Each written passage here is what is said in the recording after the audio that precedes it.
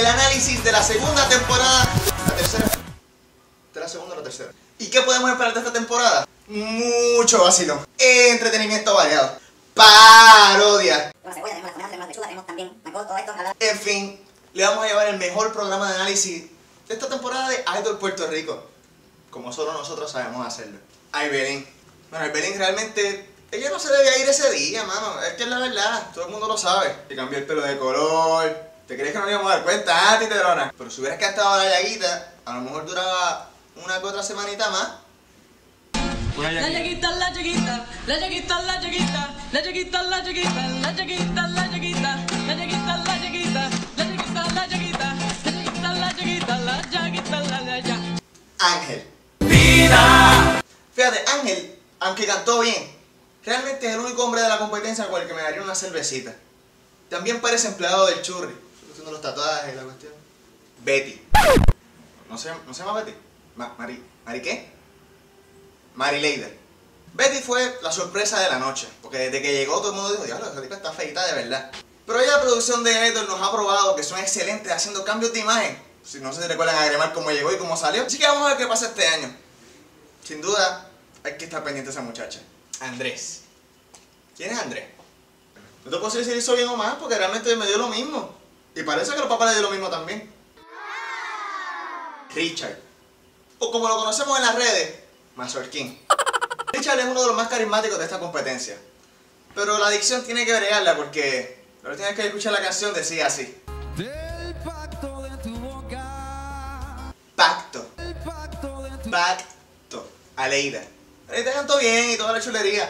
Pero lo realmente impresionante fue la reacción de Noel cuando le pidió que cantara a capela.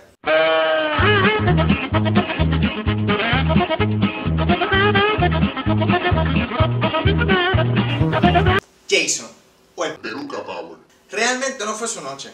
Pero si hay algo que él supo hacer, fue mantener a la gente pompeada con esos aeróbicos.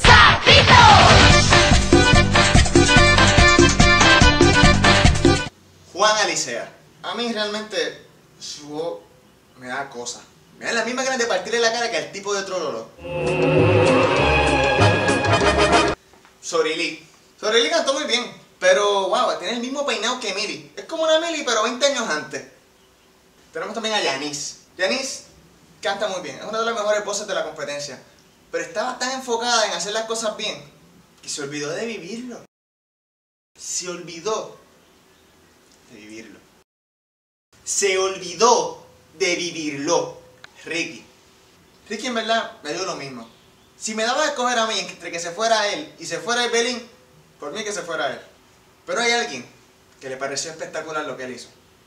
Veamos. Sentí que tenía afectado un poquito la voz, pero eso no, eso no, eso no quiso decir que le dieras el 110% a lo que estás haciendo. O sea, no importa cómo esté la voz, si te entregas por entero, me tienes entera. Y ¿Qué? si te entregas por entero, me tienes entera. Y ¿Quién quiere a Milly entera? En todos los seasons, en cualquier competencia, siempre hay una nena que las demás mujeres destruyen en las redes sociales. Y la de este season es Natalia. No sé por qué le molestó tanto, obviamente cantan... Está bien, no canta bien. Pero a mí me gustó. Tú lo pones en mute y dale para adelante. Qué bien se veía mientras lo hacía.